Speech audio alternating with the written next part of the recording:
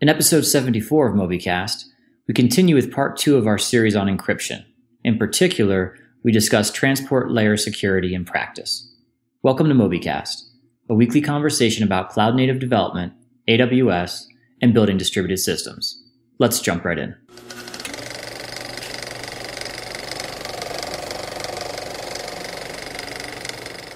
Welcome, Chris and Rich. It's another episode of MobyCast. Hey. Hey guys, good to be back. Yeah, good to have you back. So, Rich, what have you been up to? Oh, so you had recommended a book called Managing Humans. I was asking you about how to start the learning process of becoming more of a manager than a practitioner. And so that book came So yesterday. fun. So, so I'll be planning to read that this week and weekend, hopefully. Great. Yeah, let me know what you think. Um, it's definitely, yeah, on a, a Slack group that I'm a part of called Rands Slack. It's a popular read. Everybody recommends it. How about you, Chris? What are you up to? Speaking of books, I am working through a book called Bitcoin Billionaires. Kind of very appropriate considering the topics we've been discussing here on Mo- MobyCast the last, Yeah, the last total. episodes. Yeah, so Lambos. Um,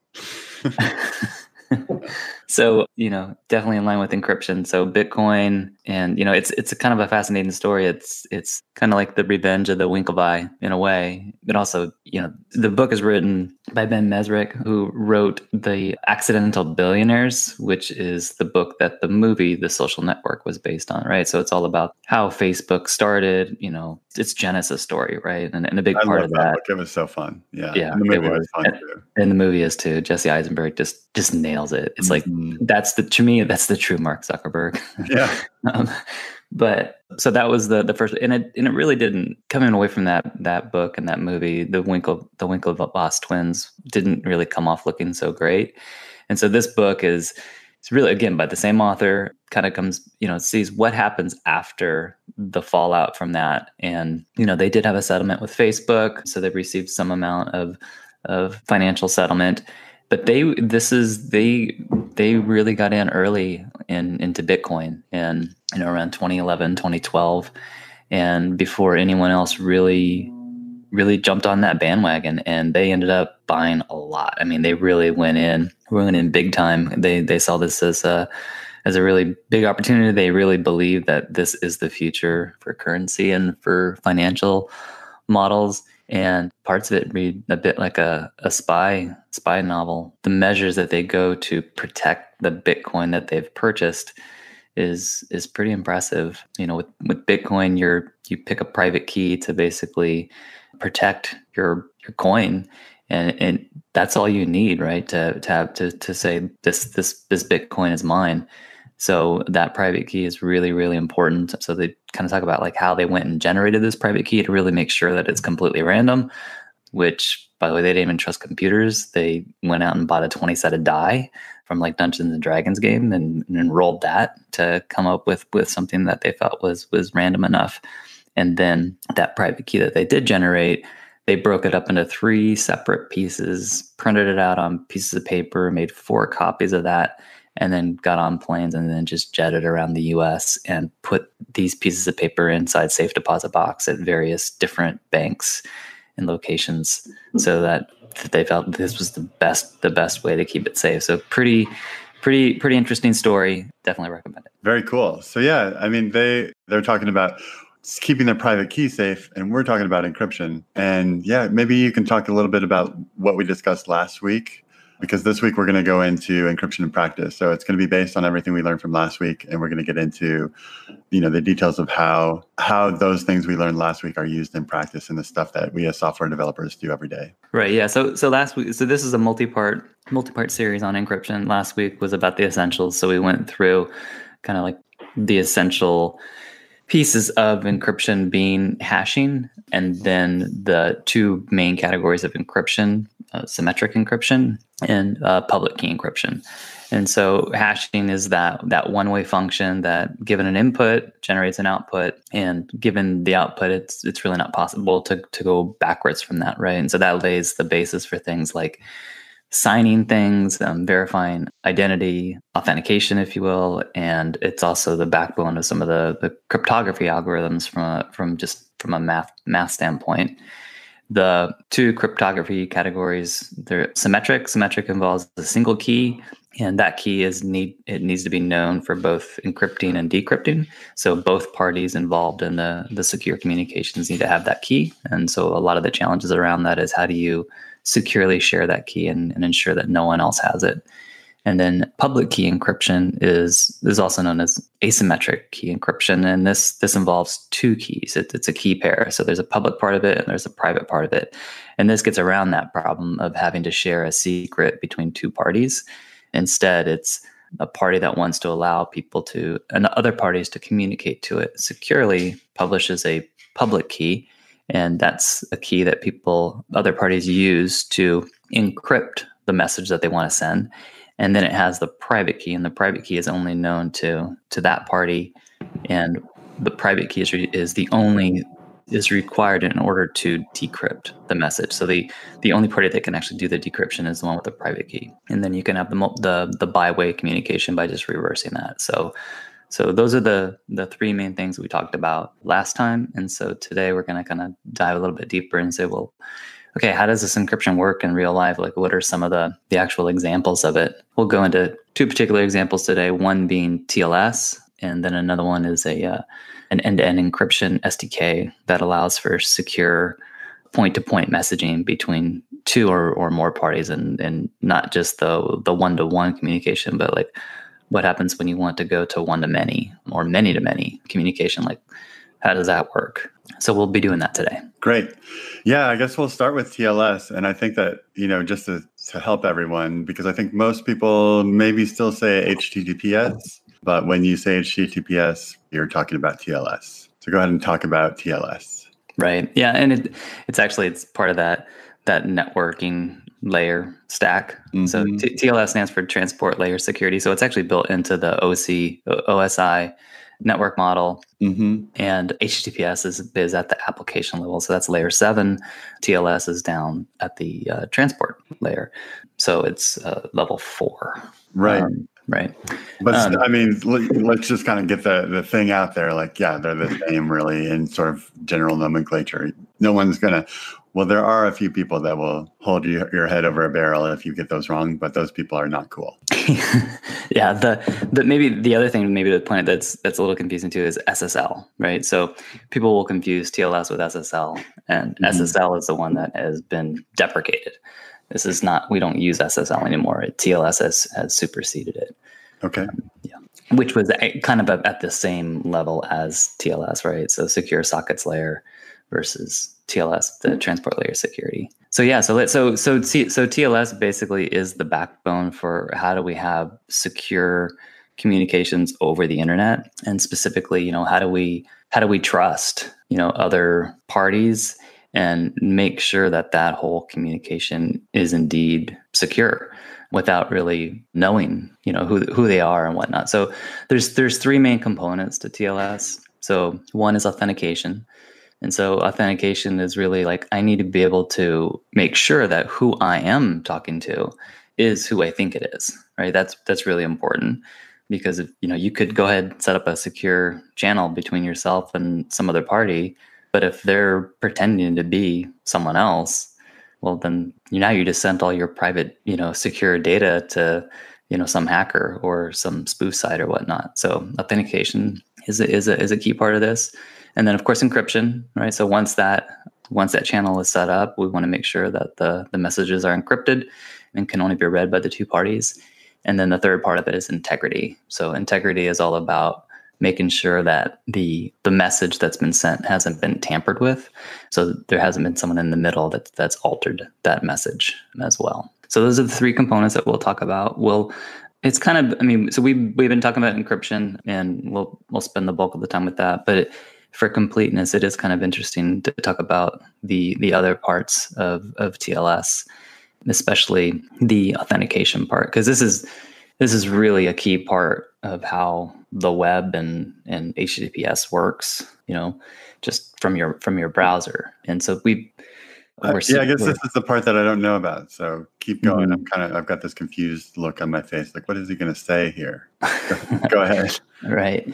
Yeah. I mean, well, this is this is back in the day why you had to pay, you know, four hundred dollars a year for an SSL certificate And you know, nowadays it's it's much much easier. And you know, folks like Amazon, they do them for free as long as you run them on their on their their services.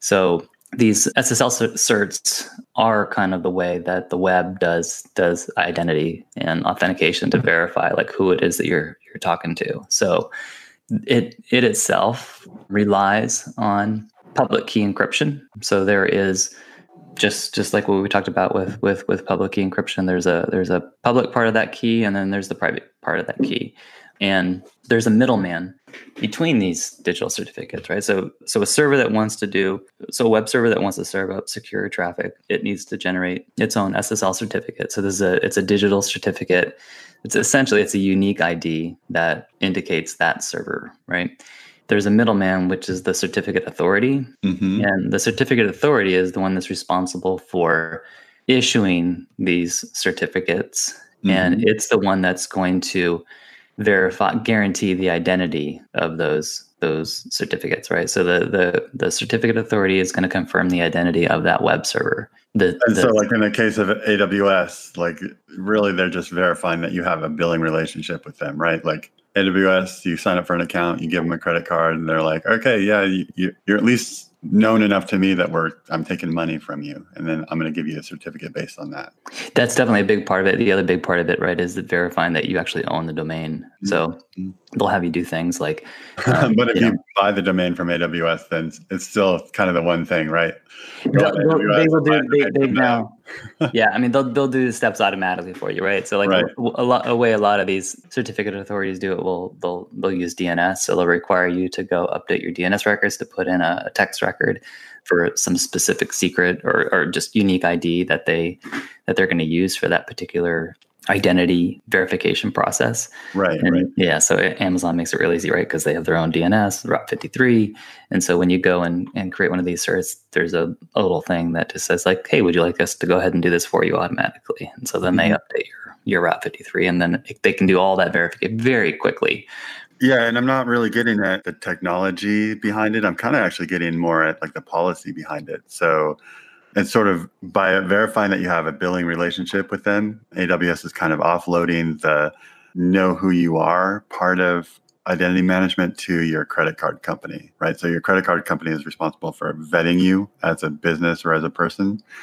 And then if you can produce a credit card number that works with AWS, then AWS is like, great, somebody out there has vetted you. So I'll sell you a domain. I'll give, I'll let you hook it up in Route 53 I'll then sell you a certificate and all of that, all your whole identity checking is just based on the fact that I've established a billing relationship with you. I, am this is this is kind of me just guessing, but like it's that easy, right? Like there's nobody calling you, there's nobody you know, giving you an interview to make sure that you have the number of employees you said. Like that's what it used to be. And at this point, I don't think it, it's anything beyond that billing relationship. Yeah, I mean, specifically for AWS, it's it's it's much easier now to do that that identity mm-hmm. process. I, I, mean, I know in the past, like when I did it with with folks like Network Solution, Network Solutions, or or VeriSign, it would be a multi-day process where you would have to have like you know provide like a phone bill with the company address mm-hmm. on it, you know, mm-hmm. type thing. You so it was just it was it was a more manual process for for checking this. So i think yeah i mean aws has definitely streamlined the process. I think they've kind of said i mean they have probably other ways too of of kind of automating like identity verification and sure. you know, who, who, knows like what what databases they're tapping into as well. So right. And if i were to speculate i guess i would just i would say wow it seems like it'd be really easy to create a fraudulent certificate. You know you're a bad bad actor and you want a, you want an http certificate https you know a tls certificate you can get one pretty easily, but you know maybe more easily than you used to be able to. But it sort of doesn't matter, right? It's like all the things that you need to do to protect your security on the you know protect protect your assets and things on the internet. Like they're just getting harder and harder. So and it kind of doesn't matter that there used to be a big human process involved and now it's just kind of quick. Like the, there were so many ways around the human process that, that, might as well not even waste people's time with it. I guess that's kind of what i'm saying. That's my speculation. Like now mm-hmm. all of this is easy but protecting yourself has, has just gotten harder. Yeah i mean it's you know all this doesn't preclude someone from going and registering the domain yahoo spelled y-o-u instead of mm-hmm. y-o-o right? And like that's all legit but if you turn if you're if you're just instead like just stealing people's money, then that's not a TLS problem, right? That's, Right. A, that's Right. a that's another problem of just you know phishing and and and all the other ways that people can can do crime on the on the inner tubes. Do some crimes. Yeah, with a Z, right? right. So keep taking Um, us down this road of this handshake. Right. Yeah. So so the so we have the certificate authority. They're the middleman. They're the ones that is like the trusted trusted party. So when again when a server wants to be able to do these these these um, secure communications, it's it's it's going through the certificate authority to say, hey, I want I issued the certificate. It keeps it has the public key and the private key to it. The public key goes with the certificate that's available through the C, the the certificate authority and the server itself, the private key stays obviously private with it. So this way, when a client wants to talk to that server securely, like one of the things they're gonna have to figure out is okay, what's the what's the public key that I'm gonna use A for client this, being like a browser. encryption? Right. Yes. Yeah. Right. Mhm. And so it's going to go and and you know look at that certificate. There's some there's some steps there that it needs to do to verify that that certificate is going to be it's going to trust it. So it's going to you know one verify that the this the certificate authority that it's coming from is a trusted CA. It's going to make sure that that certificate is valid um, and then you know so it's not expired. And then it's also going to make sure that the certificate matches the domain of the web server. So i think we've all seen the the message in the browser where you go somewhere and get the big warning message saying like this doesn't the certificate doesn't match right this site. And as developers we we may have you know we, we tried to do this like when we're trying to like test something right in our dev environment or, or staging environment we're trying to use a ssl certificate and it just doesn't match up with the domain that's being served from. And so that's that's another check that the that the client's going to do. So once it once it does that and s- says yeah i'm going to trust the certificate that certificate has the public key part of the certificate so that it can now start doing this public key encryption to to implement tls between it and the web server. And so, so this and this is all part of the TLS handshake. So this TLS handshake happens, you know, at the very beginning, the initiation of a session, and it's doing these these two things. One, it's it's the server's proving its identity through the SSL certificate, and then after that, the two parties are are establishing a shared encryption key. So, so this ends up what it is. It's a combination of both symmetric cryptography encryption as well as public key. So so what it will do is it will it's going to use the public key encryption so that the two parties, the client and the web server, can create a shared secret to be used for the symmetric encryption. And so we, we talked Ah. about right. So we, we talked about before like this is a big problem with the symmetric symmetric key encryption is that both parties have to know the secret well how do you get how do you how do you share that secret right and then, then how do you like what if you need to revoke it you know how do you make sure that no one else has it and so Chris, Really would you believe me if I told you that I've never had this thought before, but at the beginning of this episode, when you were talking about public key encryption and, and the oh. difficulty of sharing keys with symmetric key encryption is like that sharing of the keys. And I was like, oh, I wonder if you could use public key encryption to share that key.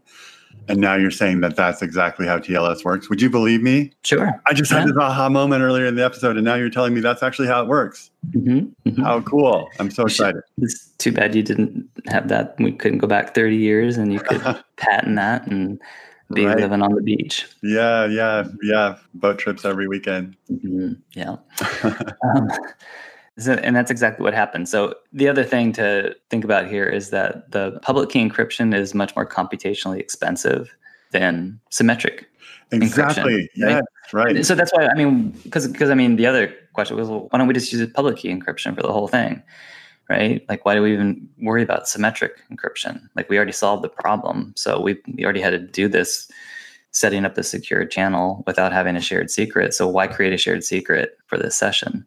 And so the reason is it's literally for performance, right? And and The not only takes a little while. You got to be patient. But then Mhm. once you get that symmetric key encryption going, you're blazing. You're going so Mhm. fast. hmm And it's actually it's not just performance as well. It's you're you're creating a, a, a level of indirection. So this way it gives you the, the freedom to revoke who you're talking to and whatnot, right? So the intermediate key is that you decide what kind of lifetime they have. Yeah, I was I was even wondering if the TLS protocol means makes it so that as part of creating that shared secret, like if it's different for every, you know, handshake, right? Like I'm do a handshake, I make a new one. Do another yeah. handshake, I make another new one. Like just mm-hmm. every time new. It could be. It is, and and that's, that's that's what the handshake does. So the handshake, every handshake is one, verify the identity, make sure that we trust that certificate, and then two, we're going to create a, a new encryption key a new symmetric encryption key and set that up and share it. And then for the remainder of that session, we'll we don't need to do any of that anymore. Right. We're going to use that same symmetric key. But for any new sessions, brand new symmetric key. Cool. Right. So, so uh, it'll all be done again. So lots and lots of these these symmetric keys. They're just they're basically just disposable keys. Right on. Right on. Hey, this is Rich. Please pardon this quick interruption. We recently passed an internal milestone of 50,000 listens, and I wanted to take a moment to thank you for the support. I was also hoping to encourage you to head over to iTunes and leave us a review and or a rating.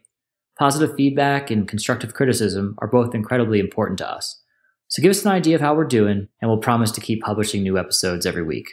Okay, let's dive back in. So last week we had talked about symmetric key encryption, and I was asking you if you had any way of sort of describing it in an intuitive way, like what's happening in the math of not the math of like why it why it works, but the math of like how the encryption happens. And we mm-hmm. kind of didn't know off the top of our heads. And so I promised that I would go figure that out and, and tell everybody this week. And so I think this is a good opportunity to, to do that because we just said that TLS creates a symmetric encryption conversation between two parties. I looked it up and we'll, we'll put this in the show notes. There's this moserware.com. I've never heard of it before, but there's a stick figure guide to the AES encryption protocol. And it's really good. It's, it's really kind of long, but uh, it makes it fairly simple to understand what's happening in AES. And I think there's just a couple things that I want to talk about from it because I, I can't get into the, every single detail. There's literally like 200 boxes of stick figures. So it's going to take you an afternoon to read it.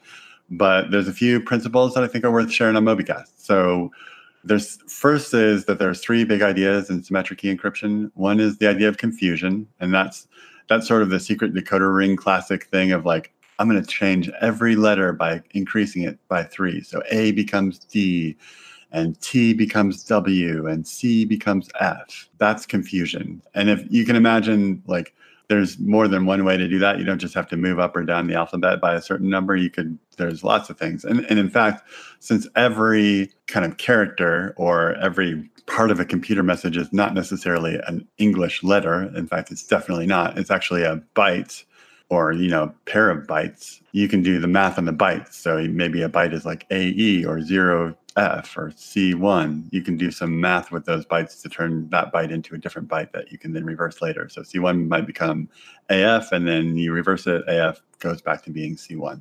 So that's one part of it. That's the confusion. The other part of it is diffusion.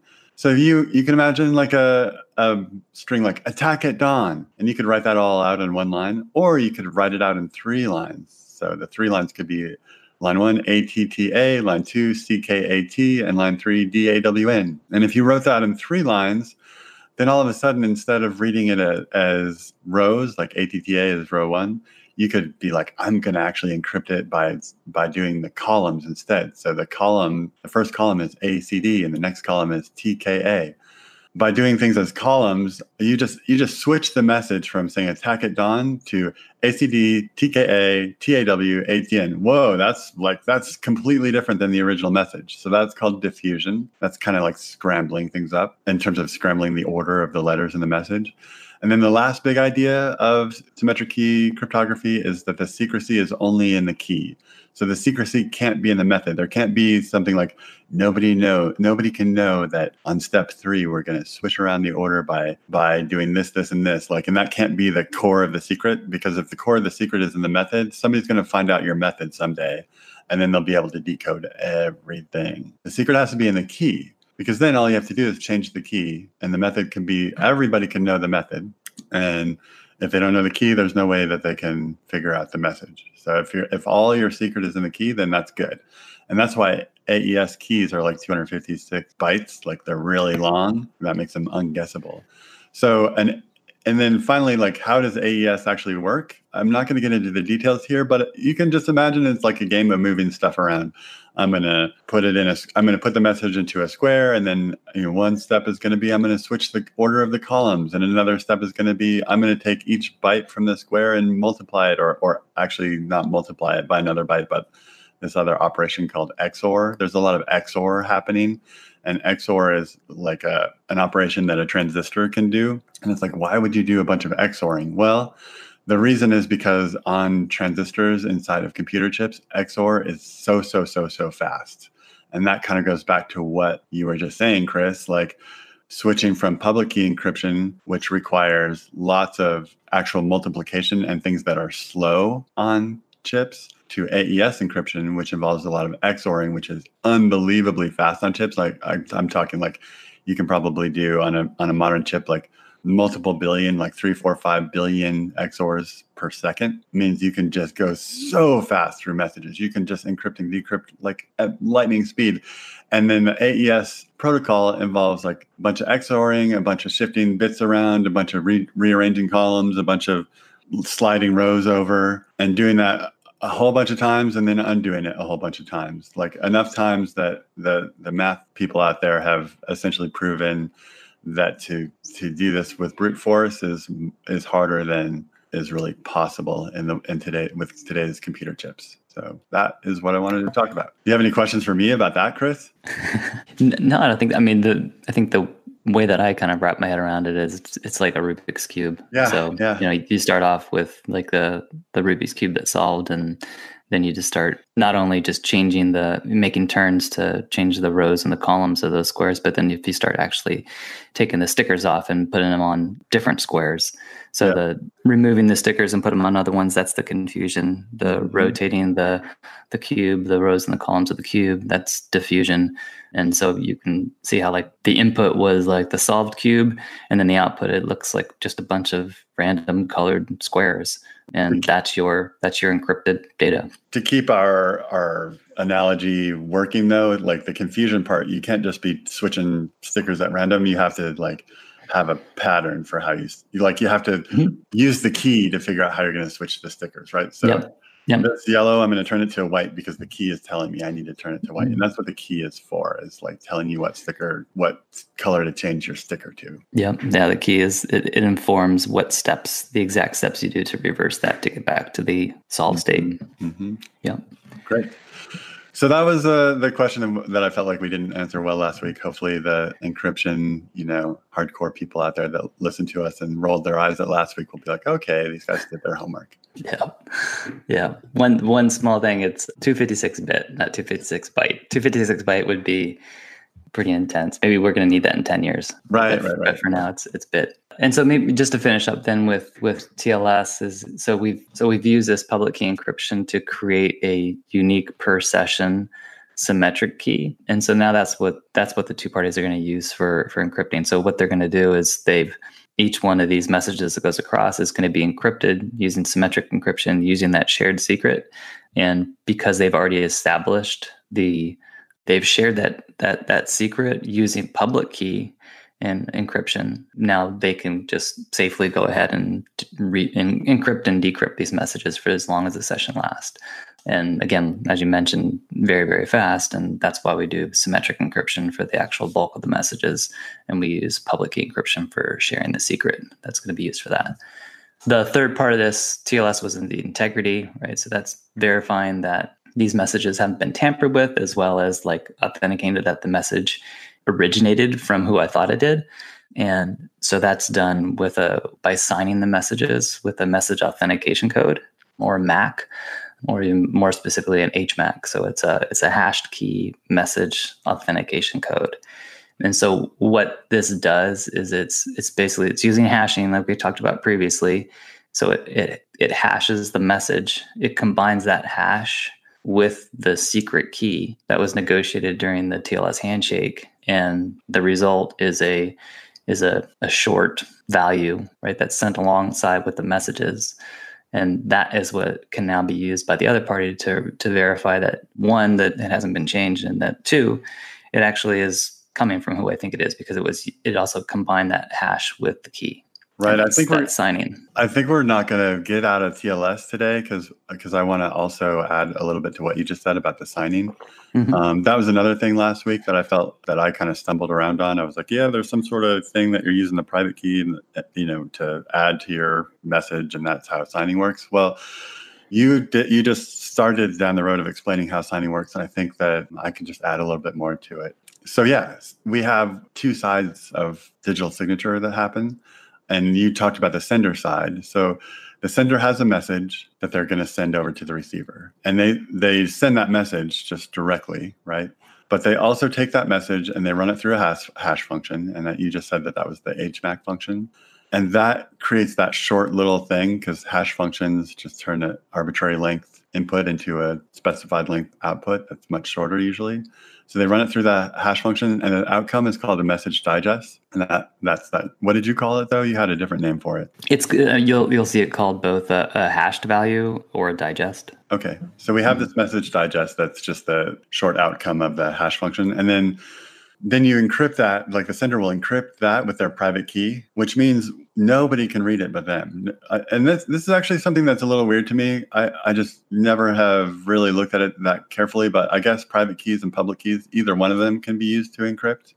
Typically in in asymmetric encryption you know people use your public key to encrypt something to send to you but I guess you can also encrypt with, and then you use your own private key to decrypt. But I guess you can also encrypt with a private key. I guess they're just a number, so there's no reason you can't use a number. You know, I'll just use this number instead of that number to, to do my encryption. Once the sender encrypts that message digest, that's now called a signed digest, and they tack that onto the front of the message and send it to the receiver. So now that the receiver has a signed digest and a message. So then the receiver takes the message, runs it through a hash function, and now they they also have a message digest. It should be should be the same as the message digest that the sender created.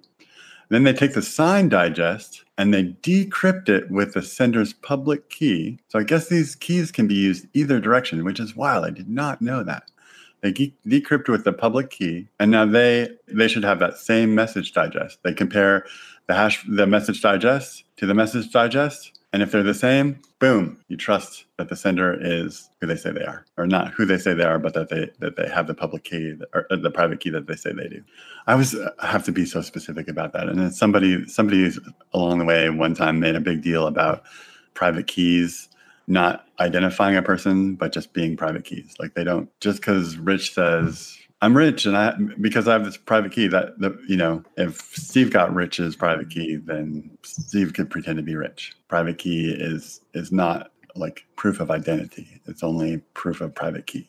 Right. It's a it's again it's part of that that key pair secret, right? Mm-hmm. So and, and what you just described is definitely like code signing in general. Mm-hmm.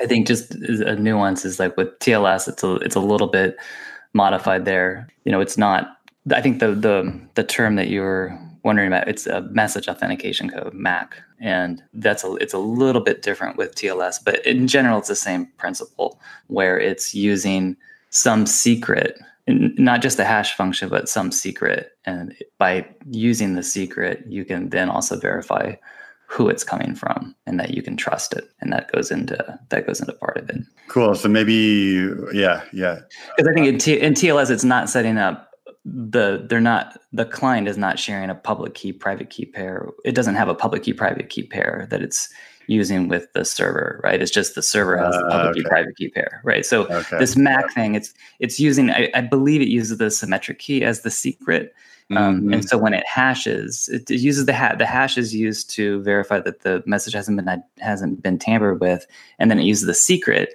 saying like, hey, this is the only the secret's only known between us. So if if you use if you throw the secret in there as like basically salt, mm-hmm. then I know that it came from you, right? But it's not encrypting it necessarily, but it's kind of the same principle versus that makes sense since you've already established that connection and you've got a symmetric key encryption going if you can just prove that you've got that symmetric key with your as part of your message then mm-hmm. that whole thing goes faster yes. like you don't have to do that because i think what I just described, which is digital signatures in general, is probably not a fast thing. Mm-hmm. Well, and it, there's the the over you you have to have the infrastructure in place for having publishing the public key part of it, mm-hmm. Mm-hmm. right, and managing that. So that's where like on, something on the web would get would get quite onerous. Mm-hmm, mm-hmm. What I like about it, though, what I think is cool, and the thing, the thing that's worth m- remembering is that digital signatures work the same way as passwords do. Like, there's this this secret that no that the person verifying the signature can't know and is not allowed to know, and that's that private key. But they can make use of it to do a comparison just like a password. The you know a password like the server that receives your password is not supposed to know your password. They just the server only knows that you've the thing that you're using as a password matches this other thing that they have that the server has in its database so i think that's that's a cool thing and it's another use of hashing as part of this whole world of encryption mm-hmm. yep indeed well, Chris, is there anything else you wanted to say about TLS to wrap it up? No, I think I think that that definitely covers TLS. We'd we'd planned to talk about the Virgil SDK, which is an SDK for end-to-end encryption. So this is where two parties can establish a secure communication link with a server between them, and the server never sees unencrypted messages, right? So it's this is like the what's WhatsApp, right? Secure messaging with WhatsApp. So with mm-hmm. WhatsApp, like on their sort, like the messages go through their servers, but when as it goes to the servers, it's completely encrypted and WhatsApp can't read it, right? That's a mm-hmm. key part of their value proposition. So mm-hmm. Virgil SDK is is a code library that allows developers to build this into it, and we can walk through this and, and understand like how that works, how you can kind of keep keep this encrypted all the way end to end and then also the the multi-party aspect to it like how do you do this with one to many? And so maybe we can talk about that next time. Okay that that would be great. Thank you. Yeah this was really informative and i it's i knew that this week was going to be more fun than last week because last week you know there's just some ground that we had to tread to to lay this framework out but now we can really use it and, and get into it deeply. So super fun and we'll talk next week. All right see you then. Thanks. Later. Later rich. Bye. Well dear listener you made it to the end we appreciate your time and invite you to continue the conversation with us online. This episode, along with show notes and other valuable resources, is available at mobycast.fm forward slash 74. If you have any questions or additional insights, we encourage you to leave us a comment there. Thank you, and we'll see you again next week.